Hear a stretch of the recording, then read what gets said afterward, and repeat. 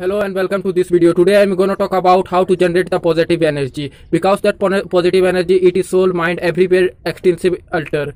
So without any delay, let's commence the video. So proceed jump to the video. We need to know what happen if we are not generate the positive energy.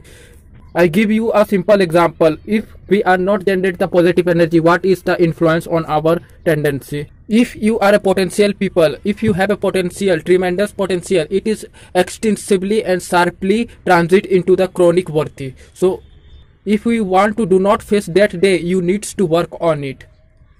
So I give some few ingredients. If you compliance as an integrity, it precisely extensive alter. So without any delay, let's commence the video whatever happening surrounding you you needs to take as a positive way. For example if anywhere happening a positive incident you needs to find in the that situation from the positive energy. You definitely got but if you have this type of thinking.